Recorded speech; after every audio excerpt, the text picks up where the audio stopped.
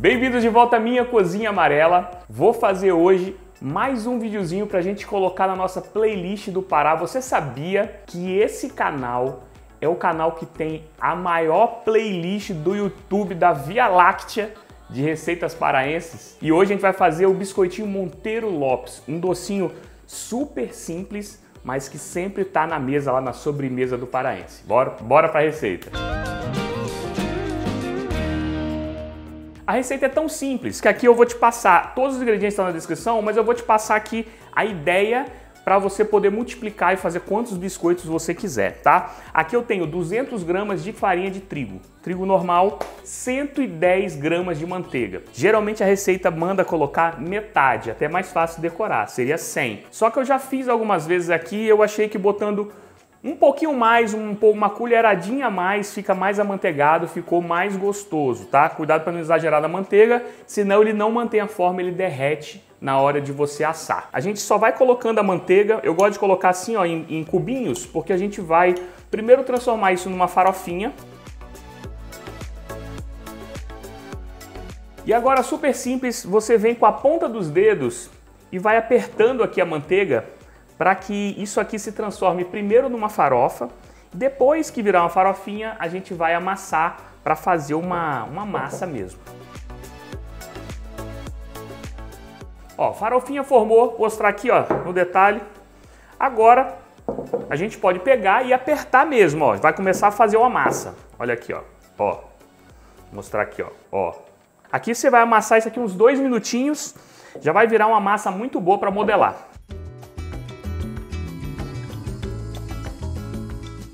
Já fez uma massa aqui, mostrar aqui, ó, bem amanteigada, simples demais. A massa do seu Monteiro Lopes já está pronta. A gente vai agora modelar os bolinhos, colocar na assadeira e depois só finalizar. Para deixar os biscoitinhos todos no padrão, eu gosto de pesar 15 gramas por biscoito. Mas você na sua casa pega uma colher, tenta fazer igual, se ficar diferente também, tanto faz, né? E aí para modelar você vai fazer o seguinte. Faz primeiro uma bolinha com a mão, faz uma, como se fosse uma cobrinha,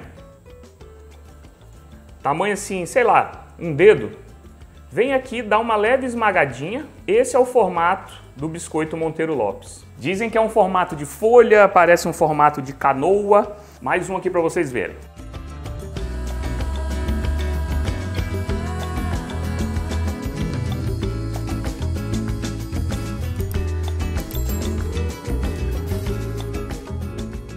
Deram 20 biscoitinhos de 15 gramas. Vou colocar eles agora na geladeira e vou ligar o forno 170 graus para ir pré-aquecendo, tá? 12 minutinhos, já está de bom tamanho.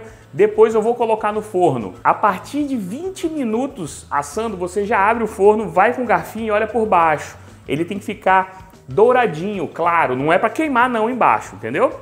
Então a partir de 20 minutos você olha, e depois Tá claro ainda? 25 minutos você olha, tá branco ainda, vai até 30 minutos, já vai estar tá bom demais para você tirar. Tira do forno, espere esfriar e aí eu vou voltar agora para mostrar como é que a gente finaliza, coloca aquele chocolatezinho por cima.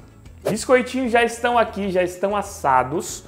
Olha, foram 30 minutos no forno mínimo mesmo, tá? Para poderem saírem assim, ó, super amanteigados derretendo na boca. Agora a gente vai fazer a finalização deles. Como que é feita? Açúcar e aqui eu estou usando é, chocolate 50%. Você pode usar 100% e você pode usar também achocolatado. Agora aqui é uma questão mais a gosto, você vai ver. Aí vou colocar aqui, ó, por exemplo, três colheres de sopa assim bem cheias, não são colheres medidoras não. Esse chocolate aqui é meio amargo, então eu vou colocar aqui algumas colheres de açúcar também, ó. Duas, vou botar três.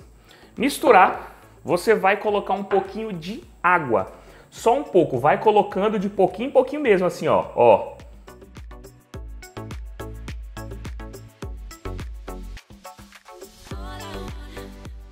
Só de misturar com a água de pouquinho em pouquinho, ele já vira essa calda maravilhosa aqui, ó.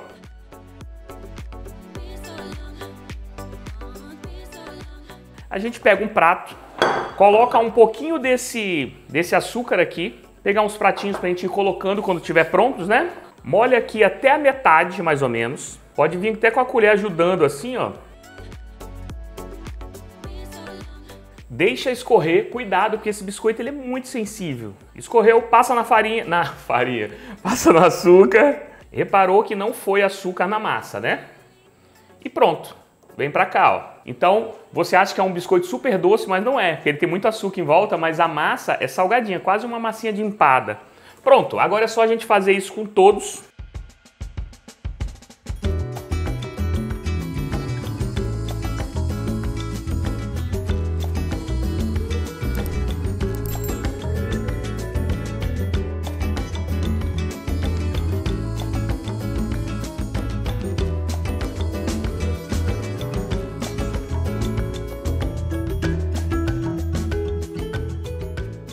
Biscoitinhos estão prontos. Você viu como é fácil de fazer? Dá, dá para fazer todo dia no lanche da tarde. Vou provar um pouquinho, né? Fazer a hora, hora da maldade. Olha isso aqui, olha isso aqui. Dá uma olhada de perto aqui. Olha isso. Derrete. Vê se dá pra ver aí, ó. Quebrando. Sequinho por dentro, derretendo, amanteigado, some igual um algodão doce na boca. Se você chegou até aqui no vídeo, se você gosta de mais culinária paraense, você vê que lá no Pará não é só pato no tucupi, maniçoba não e tacacá, né? Tem muita coisa diferente. A gente tem uma playlist gigantesca. Vou deixar um card no final aí. Tem até camusquim. Você conhece camusquim? Tem muita coisa boa, tem muita coisa diferente e ainda tem muita receita para entrar lá. Vai acompanhando, tá bom? Espero que você faça, seus filhos, sua família. Eles vão adorar isso aqui. Um beijo para você e até o nosso próximo vídeo.